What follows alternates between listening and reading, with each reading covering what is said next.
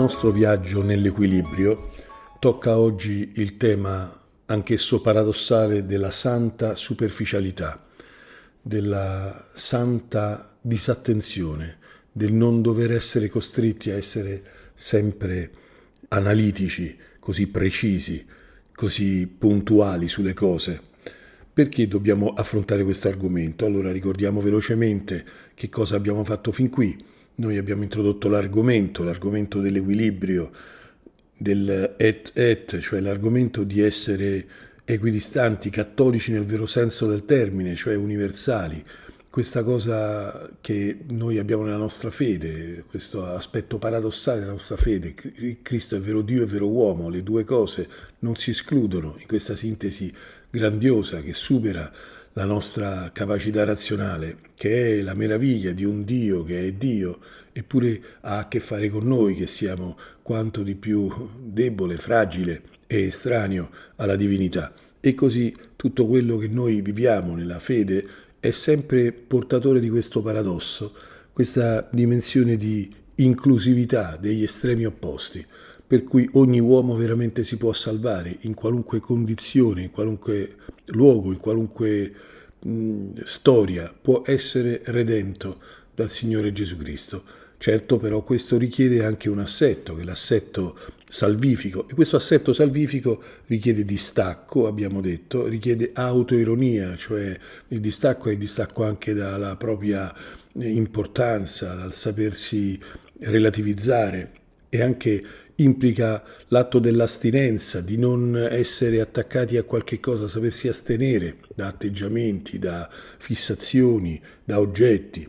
Ecco, e richiede di stare a cospetto di Dio che ci relativizza nella preghiera. Quindi c'è bisogno di essere pigri, cioè non lasciarsi prendere da cose che, di cui dobbiamo imparare a essere trasandati, non tenaci, e richiede santa avarizia, cioè il senso della vera ricchezza, cioè ci sono cose a cui bisogna tenere e altre cose a cui non c'è nessun bisogno di essere attaccati e che possiamo perdere, di cui possiamo tranquillamente fare a meno. Ed ecco che arriviamo al tema di oggi, che è il tema della leggerezza, di una forma di semplicità ingenua che fa saltare i nervi agli ansiosi, un fidarsi di Dio che non chiede disclaimer e non legge le clausole. Siamo capaci di metterle in atto quando andiamo in fissa per un idolo, eh, ma con Dio diventiamo circospetti e chiediamo verifiche, mentre ci vorrebbe quello slancio che spesso si ha all'inizio dell'esperienza di fede, quella forma di ingenuità, quella forma di spensieratezza in cui ci si lancia magari all'inizio della propria fede e magari non ci si rende conto di rischi che un po' si corrono. C'è questa forma quasi di spericolatezza per cui non si sta a analizzare tutto con una precisione esagerata, ecco, è uno slancio quasi ingenuo per poter andare avanti nella vita, anche quella spirituale, c'è bisogno di questa leggerezza, c'è bisogno di non essere attenti in maniera malata sulle cose. E gli scrupoli non sono mm, mai eh, una via mm, sana nella vita spirituale San Filippo Neri diceva scrupoli e malinconia lontano da casa mia, ed era un detto saggio. Questa cosa di stare un po' troppo attenti a tutto quello che si fa, a tutto quello che si produce, cioè avere quella santa leggerezza, ripetiamo, questa forma meno ottusa, meno angosciata di vivere le cose, richiede una forma anche di morbidezza, di flessibilità che è sana ed è difficile descrivere. Gli studiosi di neuroplasticità dicono che coloro che hanno una tendenza un po' più grossolana, eh, senza un'analisi troppo pedante dei fatti, invecchiano meglio, sono più sereni. Eh, certo, magari chi eh, è tendente a voler tutto chiaro e distinto, a chi ha una tendenza cartesiana soffre un po' accanto a queste persone, ma tante volte anche per crescere ci vuole di andare avanti, di non stare a riguardare tutto, a ricontrollare tutto, non tornare indietro, a ripensare tutte le cose fatte, non fatte, tutte le cose non chiarite, tutte quelle pedanterie che per eh, avidità eh, cognitiva noi possiamo mettere in atto. Ci sono cose da non scandagliare, approfondimenti inutili, c'è il mondo dell'irrisolvibile che non può diventare un peso insostenibile sopra la nostra coscienza. Ci sono cose oggettivamente irrisolvibili, ci sono problemi che è inutile accanirsi a voler per forza chiarire e bisogna saper andare avanti, tirare a campare. Ecco, questo non risulti semplicemente un inno alla superficialità, ma un inno alla, all'umiltà, cioè noi dobbiamo sapere accettare che tante cose stanno lì e noi non sappiamo come, come risolverle ed è inutile stare a risolverle. Abbiamo per esempio i, le trappole dell'irrisolto passato.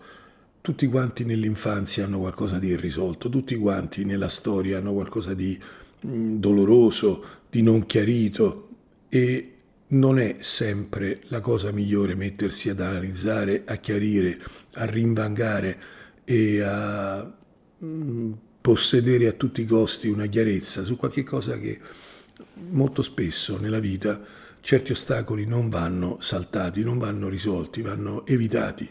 Bisogna sapere andare per un'altra strada. Certi dubbi non vanno risolti, vanno odiati per se stessi sono una trappola a se stessi. Certe domande non devono trovare risposta.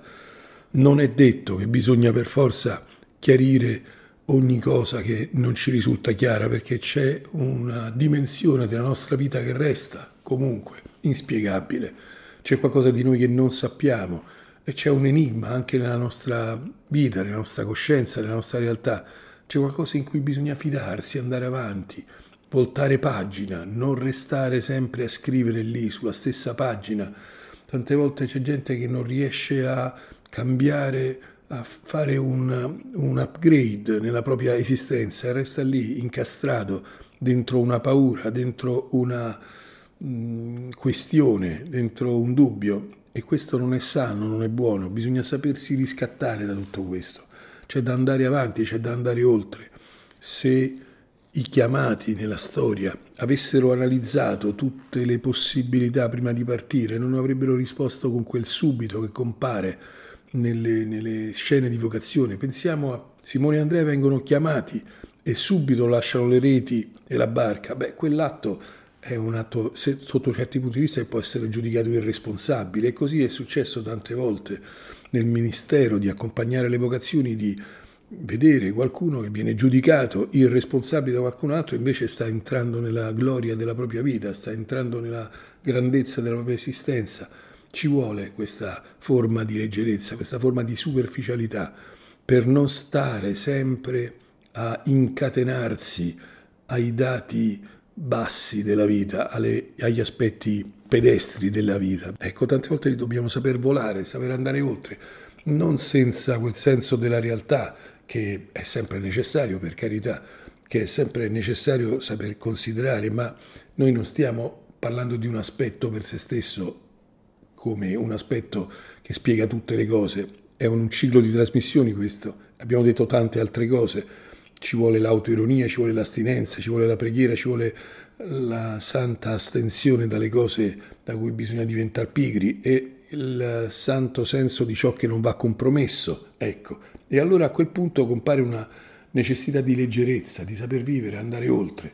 Un esempio tipico che mi è stato fatto da un cameriere una volta era questo, se guardo i piatti che porto, casco, se non guardo i piatti ma guardo davanti a me mentre sto portando appunto delle pietanze ai clienti del ristorante, io non cado, vado dritto. Ecco, molto spesso è così. Se uno si mette a guidare controllando sempre gli argini, i margini, le distanze, si ferma e inizia a, in maniera, a guidare in maniera eh, insopportabile per chi ha dietro mentre certe volte ci vuole un andare oltre, andare, lanciarsi, fare le cose, buttarsi, andare a, alla meta senza ulteriori torture.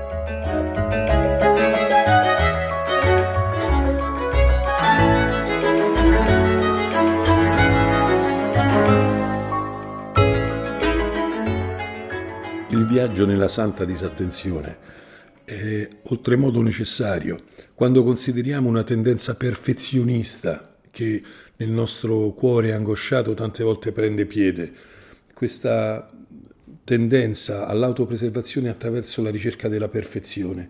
Ci sono cose che per esempio bisogna saper ignorare. Certe volte per terminare un lavoro ci vuole di chiudere, basta chiudere, quello che hai fatto hai fatto.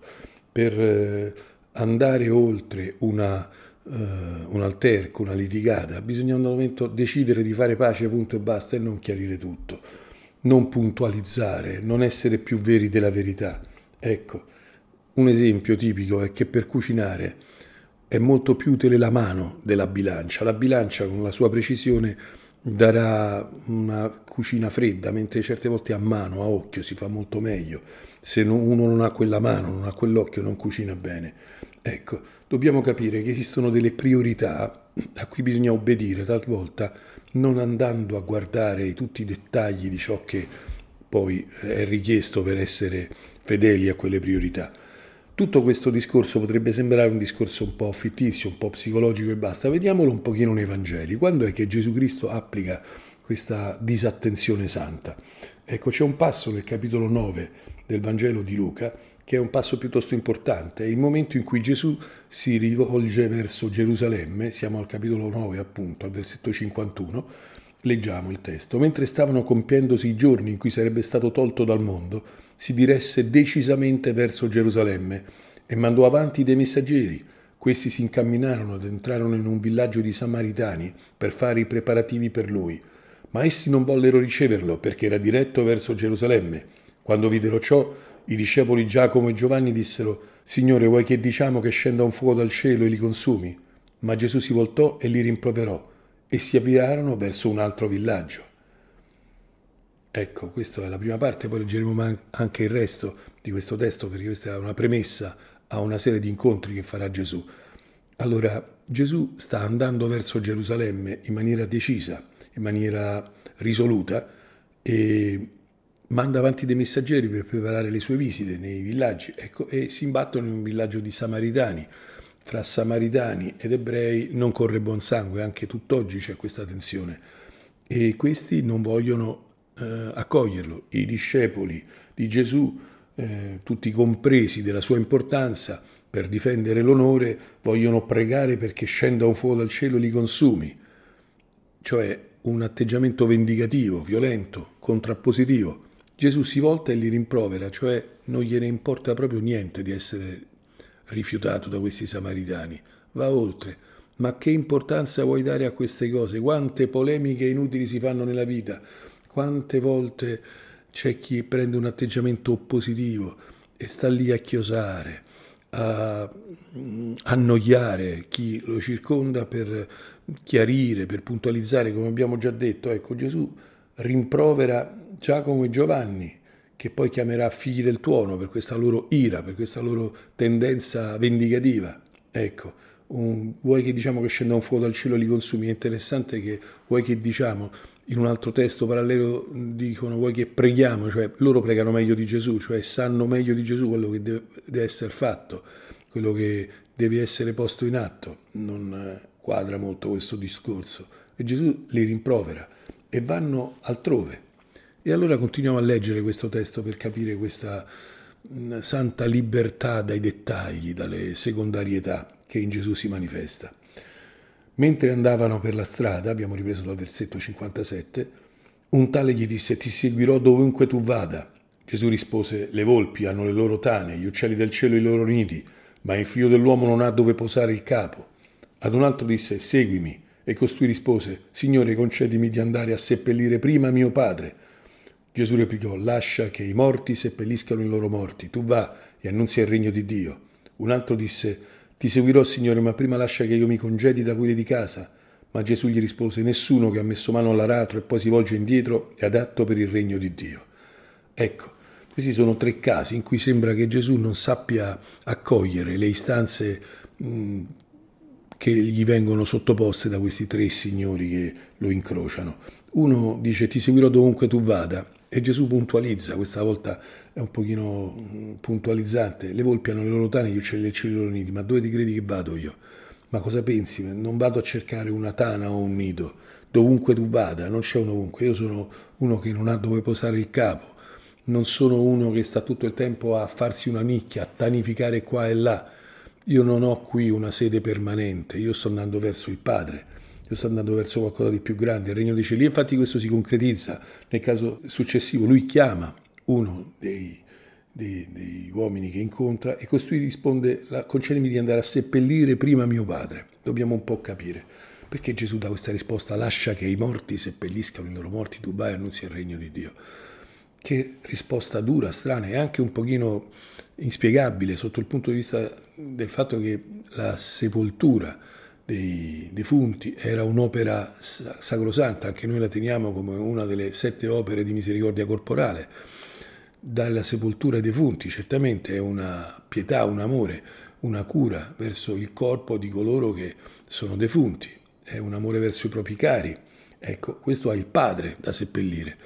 Il punto è capire esattamente cosa dice questo uomo. Gesù gli dice seguimi, lui dice lasciami prima seppellire mio padre. C'è qualcosa che viene prima della chiamata, ecco, al di là del fatto che è comprensibile, però la sorpresa è che c'è qualcosa che può venire prima della chiamata, prima dell'appello di Dio. Nella fattispecie però, questo uomo dice concedimi di andare a seppellire prima mio padre, cioè non è sicuro che il padre sia morto, forse il padre è semplicemente anziano, forse è semplicemente vecchio, forse semplicemente deve arrivare alla morte. Cioè io prima dovrò seppellire mio padre, poi potrò seguirti. Cioè c'è una cosa che devo chiudere prima. E questo rappresenta tutto il contenzioso col paterno, tutte quelle cose della nostra infanzia che dobbiamo prima mettere a posto, prima seppellire, chiudere. Questi contenziosi che non finiscono mai, non si finisce mai di aggiustare la propria infanzia. C'è sempre qualcosa che resta irrisolto. Non si può mai finire di risolvere gli enigmi della propria vita. Restano lì le ingiustizie subite, il male vissuto, le solitudini patite, tutte queste sono un capitale da usare in altra maniera, non da risolvere. Non è vero che bisogna a tutti i costi seguire tutte le linee della nostra in risoluzione. Certe cose vanno lasciate lì dove stanno, certe cose non vanno aggiustate, vanno abbandonate. Ecco, lascia che i morti seppelliscano i loro morti, cioè c'è qualcosa che è un evento di morte che chiamerà coloro che sono collegati a quella morte, che sono in quel rimorso, in quel rimpianto, in quella irrisoluzione e vivono così. Non si può vivere di rimorsi, non si può vivere di sensi di colpa, non si può vivere torturandosi per quel che è successo, bisogna andare verso il regno di Dio. In certo senso Gesù dice a questo uomo, tuo padre sta davanti a te, non sta dietro di te, lo rincontrerai nel regno di Dio. È una cosa verso cui vai, non è una cosa da cui devi saper uscire. Questo perfezionismo psicologico che pervade un po' la nostra cultura, per cui bisogna essere perfetti, risolti, non si sa come, arrivare ad una statura di libertà che poi alla fin fine non è libertà ma è narcisismo, non è risoluzione ma perfezionismo, ma ricerca semplicemente del proprio ego. Ecco, ehm, non possiamo andare a seppellire il Padre. Se Cristo ci tocca il cuore, bisogna entrare in quello che ci sta invitando a fare, andare a annunziare il regno di Dio, andare verso la vita e non stare sempre verso la morte, non stare con le mani sull'aratro e il volto indietro arare non guardando ciò che stiamo facendo. E allora uno si sposa per risolvere i problemi della propria infanzia, un altro cambia città perché deve scappare da qualcosa che non ha risolto e via dicendo. E non è assolutamente saggio vivere così. La vita richiede di andare verso la meta, la vita richiede di andare verso la luce, la vita richiede di saper vivere secondo la salvezza. E la salvezza ha una grammatica diversa dalla realtà dell'irrisolto. L'irrisolto per sua natura è una sabbia mobile in cui ci si perde, ci sono discorsi da non fare, questioni da non affrontare, problemi da lasciare lì dove stanno. Eh, non si può passare la vita a pensare alla spazzatura. È tipico delle persone malate di essere accumulatori seriali. Eh, vediamo qualche povero accattone, povero disturbato mentale che non riesce a buttare le cose. Molto spesso ci si trova nelle case di coloro che non buttano niente, gli accumulatori seriali, quelli che non si liberano mai del passato, che non riescono mai a staccarsi dalle cose, dal valore affettivo. A un momento bisogna saper entrare in un'arte dell'ordine e la cosa che più aiuta nel momento in cui si mette a posto una stanza è la spazzatura, liberarsi di cose, ci sono tante cose che teniamo lì, non si sa mai, per un'ipotesi che potrebbero servire, forse perché abbiamo dei retaggi, delle tasse antiche da pagare, bisogna smettere di pagare la tassa sull'infanzia, non c'è bisogno che il governo ce la tolga, ce la possiamo togliere da soli perché normalmente ce la imponiamo da soli. Dobbiamo smettere di vivere secondo le aspettative che ci sono piovute addosso nell'infanzia da parte degli altri, dei genitori, della famiglia, dell'ambiente, della società. No, possiamo scontentare questa infanzia, possiamo mandare, eh, come dire, all'ammasso tutta quella parte del nostro cervello che sta tornando sempre sui suoi giri, che sta tornando sul suo rivendicare qualcosa che gli è mancato, qualcosa che non è andato bene. Non bisogna aggiustare tutto, bisogna sapere andare avanti. Tante volte bisogna sapere andare mh, evitando di perdersi dentro i burroni della propria mente, dentro le irrisoluzioni del proprio essere. Ecco, questo è un altro passo che abbiamo compiuto in questa trasmissione e che però è tanto necessario come atteggiamento, è una cosa sana per il cervello, come accennavo, eh, dicono gli studiosi della neuroplasticità, bisogna essere plastici, flessibili, saper andare oltre, non fissarsi rigidamente a puntualizzare, come abbiamo abbondantemente descritto in questa trasmissione. Ecco, auguro agli ascoltatori un atteggiamento leggero, un atteggiamento più libero rispetto a tanta pesantezza che tante volte noi sappiamo produrre. Ci sta una apertura alla vita, un'apertura al bene, un'apertura anche a lanciarsi, fare le cose, uscire, eh, mettersi in cammino, andare, eh, altrimenti se vogliamo chiarire tutto, calcolare tutto, misurare tutto, proteggere tutto, staremo bloccati, fermi. Tante volte la stasi in cui si sta nella vita non corrisponde a un'assenza di forza, ma a una contrapposizione di forze uguali e contrarie che ci rendono fermi. Da una parte la chiamata alla vita e dall'altra la chiamata alla morte, cioè la chiamata a occuparsi delle cose passate, ormai morte, ormai sepolte, ormai da abbandonare, di cui liberarsi.